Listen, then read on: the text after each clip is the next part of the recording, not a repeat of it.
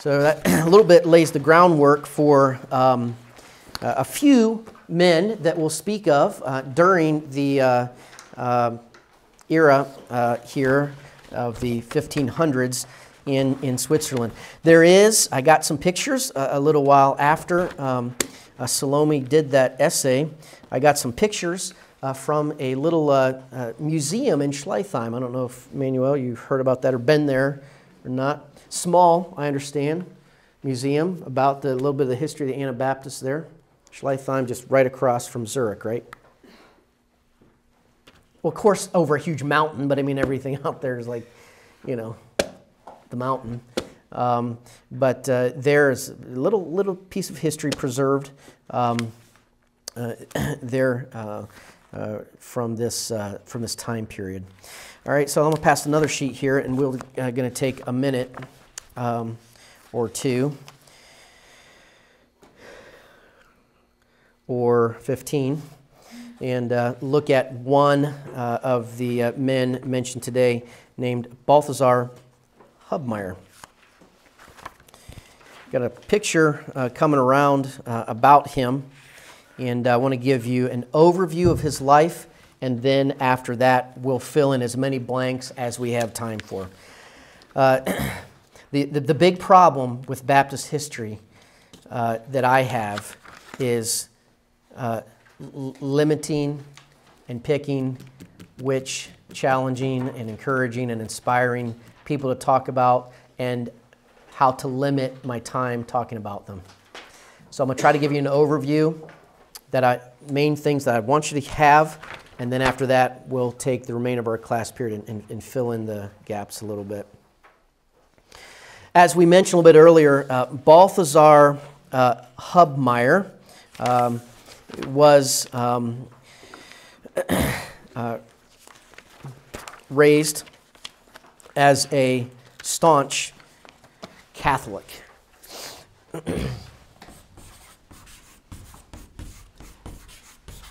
and had a uh, tremendous uh, education as far as, as, far as uh, as far as that goes. Uh, somewhere, uh, not sure exactly, somewhere about uh, 1480 he would have been born and uh, passed away.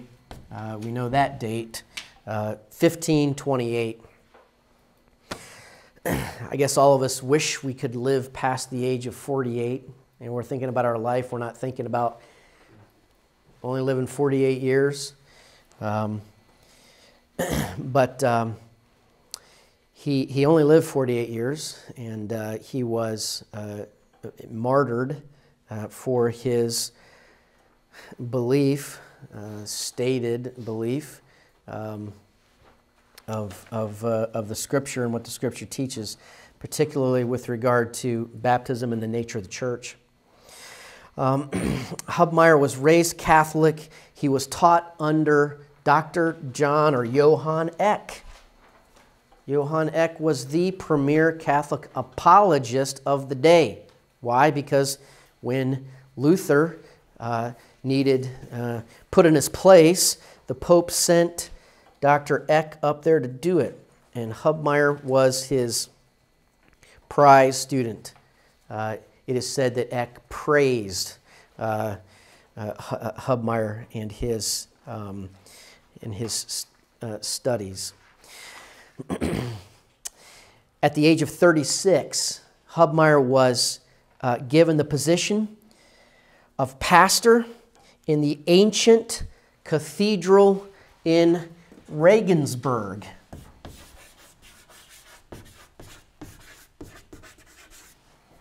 Regensburg, uh, Germany. There he becomes the pastor of this cathedral. So we're talking about someone here that has uh, a bright future as a very uh, uh, well paid, well taken care of Catholic priest. Influential, popular. Regensburg uh, was a city that uh, had a long standing conflict with the Jews. And um, as the Catholic Church grew in power and influence there, uh, the result in that city was the expulsion of all the Jews and raising, not R A I S I N G, but R A Z I N G, raising, which means uh, leveling uh, their synagogue. A, a, good picture into the mindset of the Catholic Church in uh, the 1500s with regard to Jews. Kind of a carryover from their same mindset that they had during the days of the Crusades. Anti Semitic to, uh, to say the least. And that's what Hubmaier was in and was involved with. he um, eventually, after um, uh, some uh, series of miraculous supposed events took place in this chapel in Regensburg, uh, it began to get visited by pilgrims from around the around the uh, region to see these miracles that were taking place in this cathedral. And uh, so he hosted these Catholic miracle seekers at his church in Regensburg uh, there and uh, talked about the miracles that were taking place. After a little while, he made his way to another town a little bit further west and south. Um, and uh, the name of that town, this is a town probably that he uh, spends uh, most time at, is W A L D S H U T, Waldshut, right along the Rhine River. At, at an important, uh, an important part there of, of the Rhine River. and um, he preached there 1521. He was loyal to his Catholic faith. The Reformation was two to three years old. He started to hear about it and uh, started to be challenged to study what it said according to the Bible. Somewhere, don't know exactly when or how it happened, but some point, Hubmaier got what these writings of the reformers were saying, and he got his Bible and he started to read and started to realize that he had been taught tradition, not scripture, and he started to act on the truth of Scripture uh, that he saw. He began to make friends with those in the Reformation. He began to talk with the Swiss reformers group that we talked about here a little bit earlier. These Swiss reformers and Zwingli, leader of the Zurich City Council, began to discuss what the Bible said about baptism. And at that time, 1523, Hubmaier said, Zwingli agreed with me that children should not be baptized before they are instructed in the faith. In other words, not infant baptism for sure. and um, Hubmaier continued on. He declared the Bible must decide questions of church practice and polity, such as the Mass. Begin to realize that the Mass um, was simply a traditional observance, but not something found in Scripture. He said this Just as I cannot believe for another person, so I cannot hold a Mass for another person. Maybe you've been to uh, a, a, Catholic funeral and seen the, uh, the, the cards that uh, Catholics will purchase for the deceased uh, that gives them 15 to 20 or 30 masses that the priest will say for them to help get them out of purgatory earlier. And uh, I was probably seven or eight, and uh, when I saw that for the first time, and I wondered what that little looked like a little, uh, a little like a coat tree, but it had these little clips on it. And people were going up with these cards and clipping it onto this kind of like a wire coat tree. And, and I asked somebody, and they said, "Well, look at it real close." And you looked at it, and it was a somebody had purchased from the Catholic Church a card that said the Pope, or no, sorry, the Pope, uh, the priest is going to say this many Hail Marys uh, for the one that's died, and this will help get them out of purgatory uh, quicker. And uh, these, these uh, things, uh, Balthasar Hubmaier said, this is not in Scripture. And from his pulpit, he was getting praised because these people were getting taught Scripture. Can you imagine what that would be like to be in his congregation for the first time in uh, many, many years to hear preaching uh, in your own language, to hear what the Bible said uh, as absolute truth, to begin to hear a rejection of tradition? Can you imagine the change that that would take place and the, and the, uh, the difference that that would be like to the people that were the con- in the congregation there? Catholics, of course, heard about this, and uh, became targeted. They demanded that he be removed uh, from uh, his, his pastorate. Hubmaier went further and uh, got married. That was, of course, a no no for the Catholics uh, priest to get married, but he married a lady um, by the name of Elizabeth Hugeline. And uh, time, we'll see here by the end of this, that uh, she was at least as adamant, if not more adamant, in her beliefs than he was. Um, so, uh, Hubmaier now uh, is facing tremendous opposition, and the opposition is not just from religious authorities, but it's from religious authorities that have the civil government to back them up. So um, uh, he and his friends, Conrad Grebel, Felix Manz, George Blaurock, began to um, battle it out. And I believe today is January the 15th, is that right? January 16th? 15th. January 17th, two days from now. January 17th, uh, 1525 was the well known debate between Hubmaier and Zwingli at the Zurich Council. You can go to Google Books and search, and you can find the transcripts of that debate. You can hear and read their own words.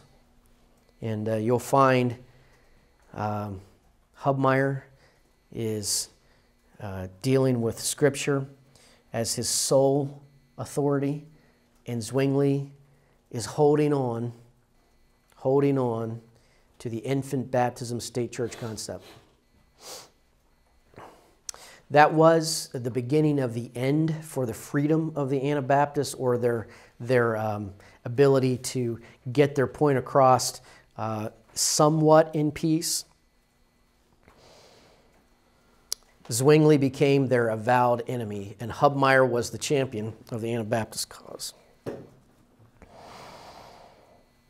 Grebel, Manz, Blaurock were summoned back to the council and warned to stop their teaching. Adult baptism was forbidden. Postponing infant baptism was forbidden under law. And in the city of Waldshut, the Austrian government, this is a little ways from Austria, but Austria, its uh, power and authority had reached into what it called its outlying lands.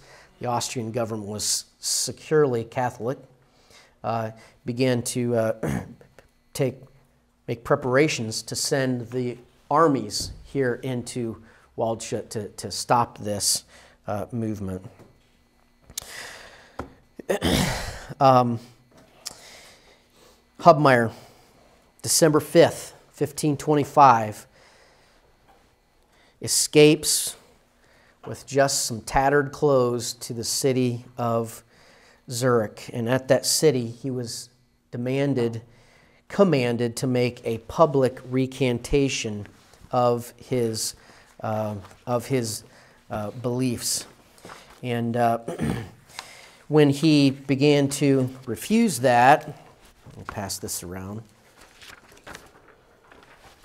When he began, when he uh, refused that, um, the uh, Reformed City Council decided they were going to get this um, rebel to refuse to recant one way or the other. And so they applied to him the rack. They put him on the rack. The rack torture. The rack is commonly considered the most painful form of medieval torture. It was a wooden frame, usually above ground, with two ropes fixed to the bottom and another two tied to a handle in the top. The torturer turned the handle, causing the ropes to pull the victim's arms. Eventually, the victim's bones were dislocated with a loud crack. If the torturer kept turning the handles, some of the limbs were actually torn apart, usually the arms. This method was mostly used to extract confessions, as not confessing meant the torturer could stretch some more. Sometimes torturers forced their victim to watch other people be tortured with this device to implant psychological fear. Many knights were tortured with the rack. The limbs collected from this and other punishments of the time were emptied by the hundreds. Sometimes this method was limited to dislocating a few bones, but the torture often went too far and rendered the legs or arms useless. In the late Middle Ages, new variations appeared. They often had spikes that penetrated the victim's back as the limbs were pulled apart. So was his spinal cord increasing, not only the physical pain, but the psychological one of being handicapped at best, too. And they extracted a recantation from Hubmaier after he got off the rack. And they drug him before the uh, city church in Zurich. And Zwingli preached on the, uh, the, uh, the need and the belief in infant baptism in the state church for a long time and then called Hubmaier up to read his recantation. And he got up and with a quivering voice started to read what he'd said. And then halfway through that, he put down his paper. It's though he was uh, strengthened by God and shouted out, Infant baptism is not of God, and men must be baptized by faith in Christ. And the cathedral went crazy.